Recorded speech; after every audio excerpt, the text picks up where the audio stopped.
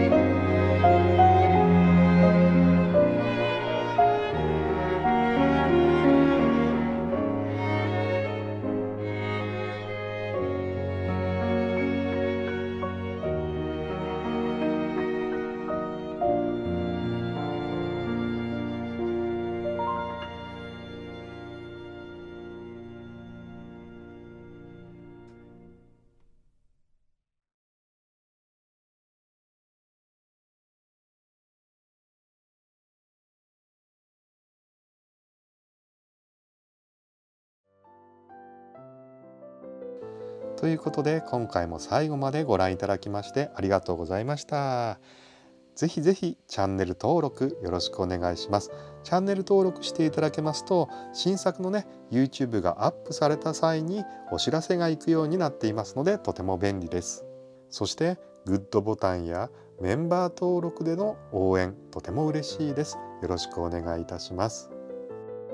それではまた次回お会いしましょう。さようなら。